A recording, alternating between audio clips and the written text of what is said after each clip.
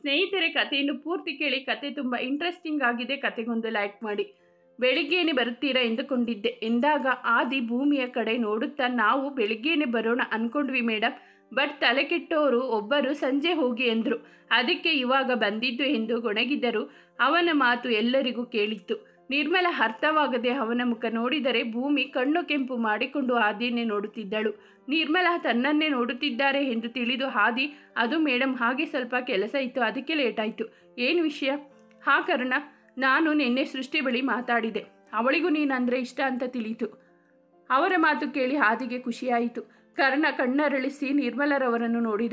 ಹೌದು ಅವಳಿಗೆ ನಿನ್ನ ಮೇಲೆ ಪ್ರೀತಿ ಇದೆ. ಆದರೆ ಭೂಮಿನ ಒಬ್ಬಳೆ ಬಿಟ್ಟು ಹೋಗಬೇಕಲ್ವಾ ಅನ್ನೋ ಭಯದಿಂದ ಇಷ್ಟ ಇಲ್ಲ ಅಂತ ಹೇಳಿ ರಾತ್ರಿ ಎಲ್ಲ ಊಟ ಬಿಟ್ಟು ಅಂತ ಕೂತಿದ್ಲು.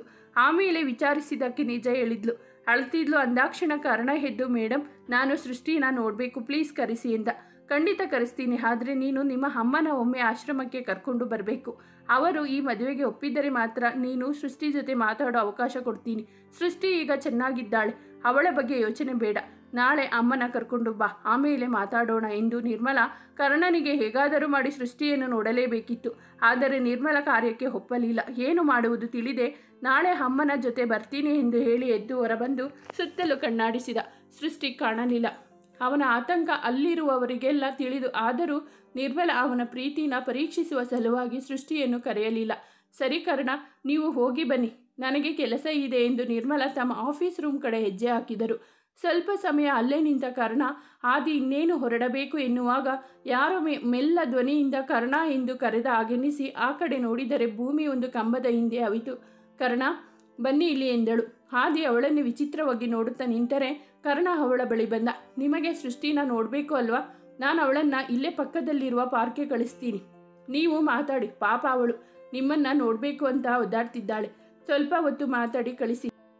ಆಯ್ತಾ, ಲೇಟ್ ಮಾಡಬೇಡಿ. ನಿಮಗೆ ಗೊತ್ತಾದರೆ ಬೈತಾರೆ ಎಂದಳು. ಕರ್ಣ ಖುಷಿಯಿಂದ ಸರಿ ಎಂದು ತಲೆ ಆಡಿಸಿದ ಭೂಮಿ ಈ ಪಾರ್ಕ್ ಬಳಿ ಎಂದು ಹೇಳಿ ತನ್ನ ರೂಮಿನ ಕಡೆ ಓಡಿದಳು. ಆದಿಗೆ ಏನೊಂದು ಅರ್ಥವಾಗದೆ ಸುಮ್ಮನೆ ನಿಂತಿದ್ದ. ಕರ್ಣ ಬಂದು ವಿಷಯ ತಿಳಿಸಿದಾಗ ಅವನಿಗೆ ಆಶ್ಚರ್ಯ. ಇವಳೇನ ಇದೆಲ್ಲ ಮಾಡ್ತಿರೋದು? ಯಾವಾಗ ಬಂತು? ಇವಳಿಗೆ ಇಷ್ಟೊಂದು ಒಳ್ಳೆ ಬುದ್ಧಿ. ಎಲ್ಲರ ಪ್ರೀತಿನೂ ಅರ್ಥವಾಗುತ್ತೆ. ಇವಳಿಗೆ ನನ್ನ ಪ್ರೀತಿ ಬಿಟ್ಟು ಎಂದ. ತಲೆ ಕೆಡಿಸ್ಕೊಂಬೇಡುವೋ ನಿನ್ನ ಪ್ರೀತಿನೂ ಸಕ್ಸಸ್ ಆಗುತ್ತೆ ನೋಡ್ತೀರು ಎಂದು ಮಾತನಾಡುತ್ತಾ ಇಬ್ಬರು ಪಾರ್ಕ್ ಬಂದು ಕುಳಿತರು. ಸ್ವಲ್ಪತ್ತರಲ್ಲೇ ಸೃಷ್ಟಿ ಸಹ ಅಲ್ಲಿಗೆ ಬಂದಳು. ಅವಳು ಬಂದಾಕ್ಷಣ ಆದಿ ಅಲ್ಲಿಂದ ಎದ್ದು ಹೋದ. ಆಕೆ ಬಂದು ಕರ್ಣನ ಪಕ್ಕ ಕುಳಿತಳು. ತುಂಬ ಸಮಯ ಇಬ್ಬರು ಮೌನವಾಗಿ ಕುಳಿತಿದ್ದರು. ಮೌನ ಮುರಿದ ಕರ್ಣ, ಸೃಷ್ಟಿ, ನೀವು ನನಗೆ ಒಂದು ಮಾತು ಕೊಡ್ತೀರಾ ಎಂದ ಸುಮ್ಮನೆ ತಲೆ ಆಡಿಸಿದಳು ಅವಳು. ನೀವು ಇನ್ಮುಂದೆ ಯಾವ ವಿಷಯಕ್ಕೂ ಕಣ್ಣೀರಾಗಬಾರ್ದು ಏನೇ ಕಷ್ಟ ಇರಲಿ, ನನ್ನ ಹತ್ತಿರ ಹೇಳಿ ನಾನು ನೋಡ್ಕೊತೀನಿ. ನಿಮ್ಮಲ್ಲೇ ಹೀಗೆ ಕೊರಗಬೇಡಿ. ನಾಳೆ ಅಮ್ಮನ ಕರ್ಕೊಂಡು ಬರ್ತೀನಿ. ಅವರು ಒಪ್ಪಿದ ಮೇಲೆ ನೀವು ಯಾವಾಗ ಹೇಳಿದರೆ ಆಗ ನಾವು ಇಬ್ಬರು ಮದುವೆ ಆಗೋಣ. ಭೂಮಿ ಬಗ್ಗೆ ಯೋಚನೆ ಬೇಡ. ಅವಳಿಗೆ ನಾನೇ ಒಂದು ಒಳ್ಳೆ ಹುಡುಗನ ಬ ಜೊತೆ ಮದುವೆ ಮಾಡಿಸ್ತೀನಿ. ಅಲ್ಲಿಯವರೆಗೂ ಭೂಮಿ ನಮ್ಮ ಜೊತೆಯಲ್ಲೇ ಇರಲಿ. ಆಯ್ತಾ ಎಂದು ಇದ್ದಿಷ್ಟನ್ನು ಹೇಳಿ ಅವಳ ಮುಖ ನೋಡಿದ. ಎಂದಿನಂತೆ ಆಕೆಯ ದೃಷ್ಟಿ ನೆಲದ ಮೇಲಿತ್ತು. ಮತ್ತೊಂದು ಮಾತು, ಇದರಲ್ಲಿ ಒತ್ತಾಯ ಏನಿಲ್ಲ. ನಿಮಗೆ ನನ್ನ ಬಗ್ಗೆ ಸಂಪೂರ್ಣ ಪ್ರೀತಿ, ನಂಬಿಕೆ ಇದ್ರೇನೆ ಒಪ್ಪಿಕೊಳ್ಳಿ. ಇಲ್ಲ ಅಂದರೆ ನಾನು ಬ್ಯಾಡ್ ಲಕ್ ಅಂತ ಸುಮ್ಮನೆ ಇರ್ತೀನಿ. ಬಟ್ ನಾನು ಬೇಜಾರಾಗ್ತೀನಿ ಅಂತಾನೋ ಅಥವಾ ಮತ್ತೊಂದು ಕಾರಣಕ್ಕೂ ನನ್ನ ಪ್ರೀತಿನ ಒಪ್ಪಲೇಬೇಕು ಅನ್ನೋದೇನಿಲ್ಲ ಎಂದು ಸುಮ್ಮನಾದ. ಊಹೆ ಬಂದಾಗಿನಿಂದ ಈ ಆಶ್ರಮದವರ ಪ್ರೀತಿಯ ನಡುವೆ ಬೆಳೆದವಳು ನಾನು.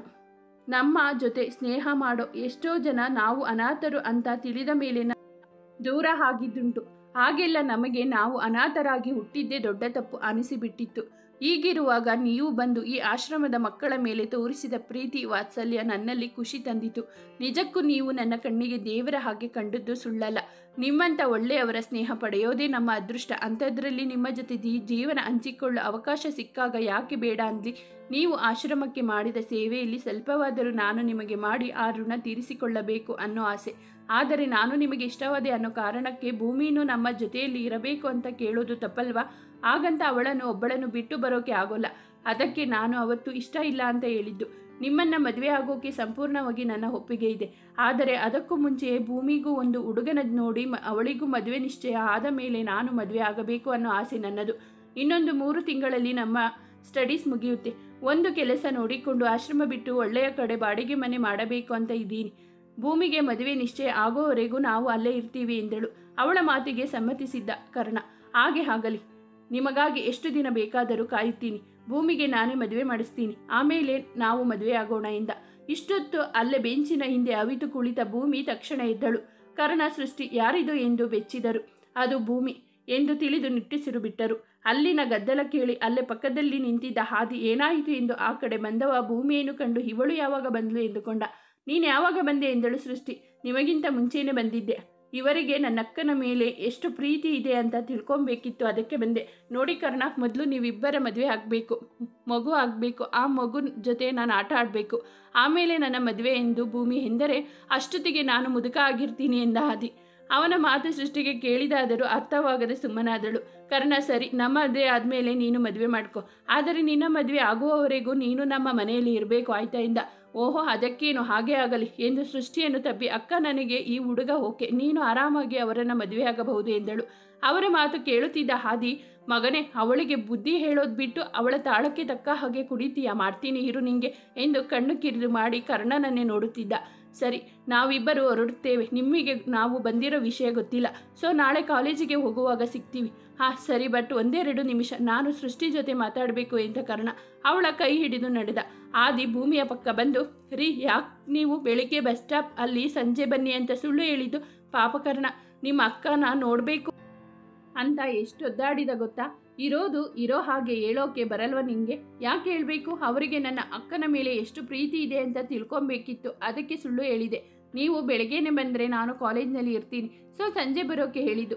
ಸುಮ್ಮನೆ ಯಾರ್ಯಾರೋ ಬಂದು ಪ್ರೀತಿಸ್ತೀನಿ ಅಂದರೆ ಒಪ್ಪಿ ಹುಡುಗಿನ ಕೊಡೋಕ್ಕಾಗುತ್ತಾ ಅದಕ್ಕೆ ಹೀಗೆ ಮಾಡಿದ್ದು. ಇವಳು ಕರ್ಣನ ಬಗ್ಗೆ ಇಷ್ಟೆಲ್ಲ ಎನ್ಕ್ವೈರಿ ಮಾಡಿರೋಳು. ಇನ್ನು ಇವಳನ್ನು ಮದುವೆ ಆಗೋ ನನ್ನ ಬಗ್ಗೆ ಎಷ್ಟು ಎನ್ಕ್ವೈರಿ ಮಾಡ್ತಾಳೋ ಎಂದುಕೊಂಡು ಅದನ್ನು ಕೇಳೇಬಿಟ್ಟ ಇವನನ್ನೇ ಬಿಡಲಿಲ್ಲ ನೀವು. ಇನ್ನು ನಿಮ್ಮನ್ನು ಮದುವೆ ಆಗೋ ನನ್ನ ಬಿಡ್ತೀರಾ? ಏ, ಅವರಿಗೆಲ್ಲ ಹೀಗೆ ಟೇಸ್ಟ್ ಮಾಡೋಲ್ಲ. ನನ್ನನ್ನು ಮದುವೆ ಆಗೋರಿಗೆ ಸ್ಪೆಷಲ್ ಟ್ರೀಟ್ಮೆಂಟ್ ಇರುತ್ತೆ. ಅವರಿಗೆ ಸ್ಪೆಷಲ್ ಕ್ವಾಲಿಟೀಸ್ ಇರಬೇಕು. ಅದೊಂದು ದೊಡ್ಡ ಲಿಸ್ಟ್ ಇದೆ. ಅದೆಲ್ಲ ಮಾಡೋಕೆ ಬಂದರೆ ಮಾತ್ರ ಅವನ ಜೊತೆ ನನ್ನ ಮದುವೆ ಎಂದಳು ತಣ್ಣಗೆ. ನನ್ನ ಕತೆ ಮುಗಿಯಿತು ಎಂದುಕೊಂಡ ಹಾದಿ ಏನದು ಲೀಸ್ಟ್ ಎಂದ. ಅದೆಲ್ಲ ಯಾಕೆ ನಿಮಗೆ? ನೀವು ನನ್ನ ಮದುವೆ ಆಗ್ತೀರಾ? ಇಲ್ಲ ತಾನೆ. ಸುಮ್ಮನೆ ಇರಿ. ನನ್ನನ್ನು ಮದುವೆ ಆಗ್ತೀನಿ ಅಂತ ಬಂದವನಿಗೆ ಹೇಳ್ತೀನಿ ಎಂದಳು. ಅವಳ ಮಾತು ಮುಗಿಯುವ ವೇಳೆಗೆ ಕರ್ಣ ಸೃಷ್ಟಿ ಬಂದರು. ಹುಡುಗಿಯರಿಬ್ಬರು ಆಶ್ರಮದ ಕಡೆ ನಡೆದರೆ ಹುಡುಗರು ಅವರವರ ಮನೆ ಕಡೆ ಹೊರಟರು. ಏನೋ ಭೂಮಿ ಜೊತೆ ಮಾತಾಡ್ತಿದ್ದೆ. ಮೋಸ ಕಣೋ ಇದು. ಸೃಷ್ಟಿ ನಿನ್ನ ಪ್ರೀತಿನ ಒಪ್ಪಿದ್ಲು ಅಂತ ನನ್ನ ಪ್ರೀತಿ ಬಗ್ಗೆ ಮರೆತೆ ಅಲ್ವಾ? ಅಷ್ಟೇ ಬಿಡು ಮಗ. ನಾನು ಸುಮ್ಮನೆ ಏನೇನೋ ಥಿಂಕ್ ಮಾಡಿದೆ. ಯಾಕೋ ಏನಾಯ್ತು? ನಾನೇನು ಮಾಡಿದೆ ಎಂದ ಕಾರಣ. ಆದಿಯ ಮಾತು ಅರ್ಥವಾಗದೆ. ಮತ್ತೆ ನಿಮ್ಮ ಮದುವೆಯಾಗಿ ಮಗುವಾಗಿ ಆ ಮಗು ಜೊತೆ ಇವಳು ಆಟ ಆಡಿಕೊಂಡು ಇದ್ದರೆ ಅವಳು ನನ್ನನ್ನು ಮದುವೆಯಾಗೋ ಅಷ್ಟೊತ್ತಿಗೆ ನಾನು ಮುದುಕ ಆಗಿರ್ತೀನಿ ಅವಳು ಆಗಂದಾಗ ಬೇಡ ಒಳ್ಳೆ ಹುಡುಗನ ನೋಡಿದ್ದೀನಿ, ಅವನನ್ನು ಮದುವೆ ಆಗು ಅಂತ ಹೇಳೋಕೆ ಬರಲ್ವ ನಿಂಗೆ? ಓಹೋ, ಇದಕ್ಕೆ ತಾವು ಕೋಪ ಮಾಡಿಕೊಂಡಿರೋದು. ಲೋ, ಅವಳಿಗೆ ನೀನಂದರೆ ಇಷ್ಟ ಇದೆಯೋ ಇಲ್ವೋ ಗೊತ್ತಿಲ್ಲ. ಈಗಿರುವಾಗ ನೀನು ಪ್ರಪೋಸ್ ಮಾಡಿ ಅಥವಾ ನಾನು ನಿನ್ನ ಪ್ರೀತಿ ಬಗ್ಗೆ ಹೇಳಿ, ಅವಳು ಇಷ್ಟ ಇಲ್ಲ ಅಂದರೆ ಏನು ಮಾಡ್ತೀಯ? ಕರ್ಣನ ಮಾತು ಕೇಳಿ ತಟ್ಟನೆ ಕಾರಿನ ಬ್ರೇಕ್ ಒತ್ತಿದ ಹಾದಿ. ಲೋ, ಹಾಗಾದರೆ ನಾನು ಸತ್ತೇ ಹೋಗ್ತೀನಿ ಅಂದಿದ್ದ. ಹಾಂ, ಗೊತ್ತು. ಅದಕ್ಕೆ ನಿನ್ನ ಪ್ರೀತಿ ಬಗ್ಗೆ ನಾ ಹೇಳಿಲ್ಲ. ನಿನಗೆ ಗೊತ್ತು, ಸೃಷ್ಟಿ ನನ್ನನ್ನು ಬೇಡ ಅಂದಾಗ ನಾನು ಹೇಗಾಗಿದೆ ಅಂತ. ಆ ನೋವು ಸಹಿಸೋಕೆ ಆಗಲ್ಲ. ಏನೋ ನನ್ನ ಟೈಮ್ ಚೆನ್ನಾಗಿತ್ತು ಸೃಷ್ಟಿ ನನ್ನ ಪ್ರೀತಿನ ಒಪ್ಪಿದ್ಲು. ಹಾಗಂತ ಭೂಮಿನ ಒಪ್ತಾಳೆ ಅಂತ ಹೇಳೋಕೆ ಆಗಲ್ಲ ಅಲ್ವಾ? ಒಂದು ವೇಳೆ ಅವಳು ಇಷ್ಟ ಇಲ್ಲ ಅಂದರೆ ಆ ನೋವು ನಿನಗೆ ಬೇಡ ಕಣೋ. ಅದಕ್ಕೆ ನಿಧಾನಕ್ಕೆ ಅವಳನ್ನು ಇಷ್ಟ ಕಷ್ಟಗಳ ತಿಳ್ಕೊಂಡು ಮುಂದೆ ಹೆಜ್ಜೆ ಇಡೋಣ. ಒಳ್ಳೆಯದು ಅಂತ ಅನಿಸ್ತು. ಅದಕ್ಕೆ ನಿನ್ನ ಪ್ರೀತಿ ಬಗ್ಗೆ ಅಲ್ಲೇನು ಹೇಳಿಲ್ಲ ನಾನು. ಹಾಗಂತ ಮರೆತು ಬಿಟ್ಟಿದ್ದೀನ ಅಂತಲ್ಲ. ಸೃಷ್ಟಿಗೆ ನಿನ್ನ ಪ್ರೀತಿ ಬಗ್ಗೆ ತಿಳಿಸಿದ್ದೀನಿ. ಅವರು ಖುಷಿಯಾಗಿ ಒಪ್ಪಿದರು. ಏನು ಸೃಷ್ಟಿಗೆ ನಾನು ಪ್ರೀ, ಭೂಮಿನ ಪ್ರೀತಿ ಮಾಡ್ತಿರೋ ವಿಷಯ ಗೊತ್ತಾ? ಯಾವಾಗ ಹೇಳಿದೆ? ಆಗಲೇ ಇನ್ನೇನು ಹೊರಡಬೇಕು ಅನ್ನುವಾಗ ಒಂದೆರಡು ನಿಮಿಷ ಮಾತಾಡಬೇಕು ಅಂತ ಅವರನ್ನು ಕರ್ಕೊಂಡು ಹೋದ್ನೆಲ್ಲ, ಆಗ ಹೇಳಿದೆ. ಅದು ಸರಿ, ನೀವಿಬ್ಬರು ಏನು ಮಾತಾಡಿದ್ರಿ, ಏನದು? ಏನಿಲ್ಲ, ನೀವು ಮದುವೆ ಆಗೋ ಹುಡುಗ ಹೇಗಿರಬೇಕು ಅಂತ ಕೇಳಿದೆ. ಅವಳ ಬಳಿ ಒಂದು ದೊಡ್ಡ ಲೀಸ್ಟ್ ಇದೆ ಅಂತೆ. ಅವಳನ್ನು ಮದುವೆ ಆಗೋಕೆ ಸ್ಪೆಷಲ್ ಕ್ವಾಲಿಟಿ ಇರಬೇಕಂತೆ. ಅದೆಲ್ಲ ಇದ್ದರೆ ಮಾತ್ರ ಅಮ್ಮವರು ಮದುವೆ ಆಗೋದಂತೆ. ಇಲ್ಲ ಅಂದರೆ ಇಲ್ಲ ಅಂದ್ಲು, ಅದನ್ನು ಅಂತ ಕೇಳಬೇಕಿತ್ತು. ಕೇಳಿದೆ, ನೀವು ನನ್ನನ್ನು ಮದುವೆ ಆಗುತ್ತೀರಾ? ಅದೆಲ್ಲ ಹೇಳೋಕೆ, ನನ್ನನ್ನು ನೋಡೋಕೆ ಬಂದು ಡೈರೆಕ್ಟಾಗಿ ಕೇಳ್ತೀನಿ ಅಂದ್ಲು. ಓಹೋ, ತುಂಬ ಕಷ್ಟ ಇದೆ.